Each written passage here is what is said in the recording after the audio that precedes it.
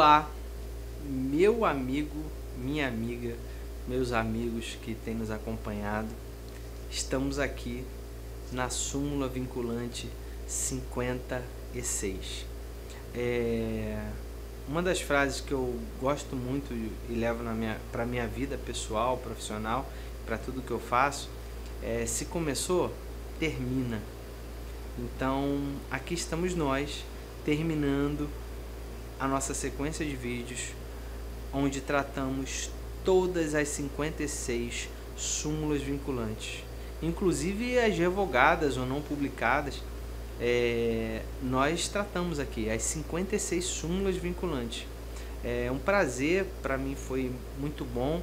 Tenho percebido que assim a, a adesão tem sido gradativa, as visualizações também.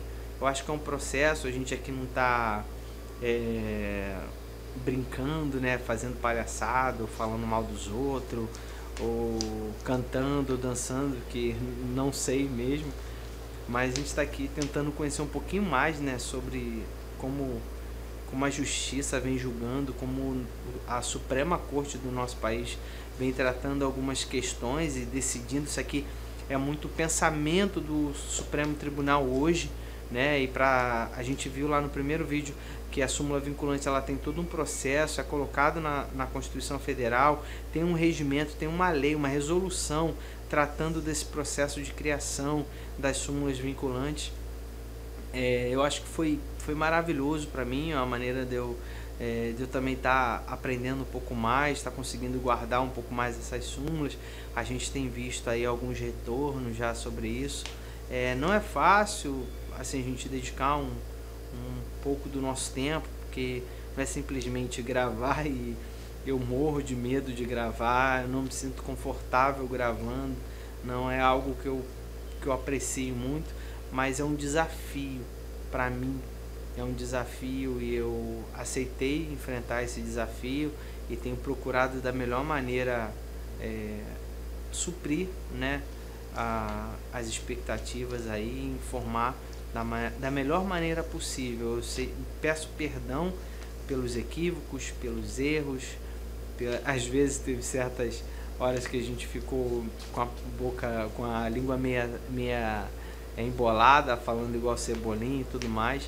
Peço perdão, peço desculpa se passei algum equívoco, mas a nossa intenção aqui é informar, é esclarecer, é de alguma maneira ajudar para que todo mundo tenha acesso a esse mundo jurídico. E é isso que a gente vai continuar aqui fazendo, tá? É, só tenho a agradecer a todo mundo que tem estado aqui conosco, aos inscritos no nosso canal. Por favor, com, é, convidem outros para estarem aqui conosco, para essa família aumentar, para que a gente possa também é, criar motivações para continuar criando os novos vídeos, novos temas. É, eu só tenho a agradecer, isso aqui também é, é um desafio para mim. Eu agradeço pelo, pelo crescimento, pela, pela coragem que a gente tem tido e agradeço o, o tempo que vocês têm dedicado para assistir esses pouquinhos vídeos que a gente tem feito aí, tempinho pequeno, é, mas é assim, eu tenho procurado dar o melhor de mim. Peço mais uma vez desculpa, perdão por algum equívoco aí que a gente passou nessa jornada mas estou aqui à disposição e vamos seguindo em frente, criando novos temas, novas sequências de vídeos. E é aquilo, se começamos, vamos terminar. E vamos lá para a súmula vinculante 56. Vamos para o teor dessa súmula.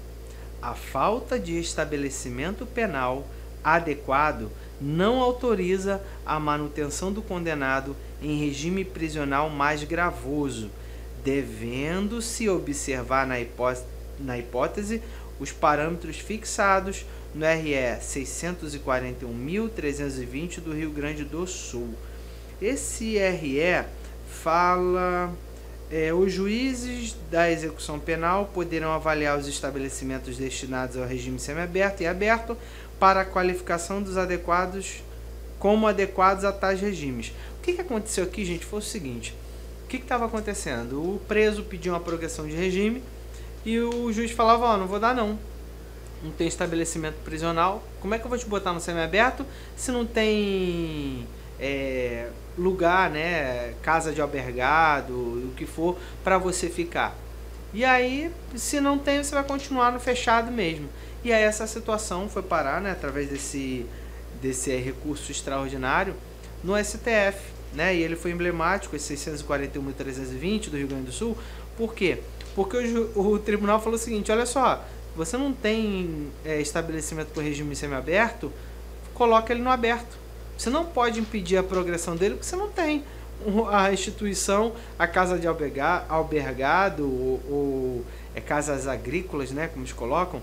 Se você não tem, coloca no aberto. E foi isso que foi colocado.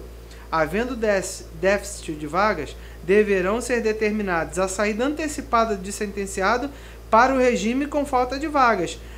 A liberdade eletronicamente monitorada ao sentenciado que sai antecipadamente ou posto em prisão domiciliar por falta de vagas, ou cumprimento de penas restritivas de direito, estudo do sentenciado que progride ao regime aberto, até que sejam estruturadas medidas alternativas.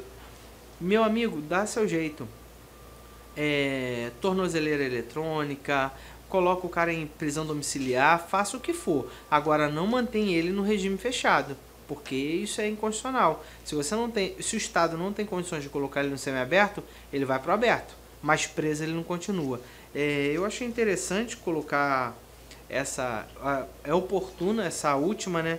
Porque ela condiz muito com assim, com o espírito que a gente gostaria de ver dentro do Supremo Tribunal Federal, né? E é muito justa essa decisão aqui.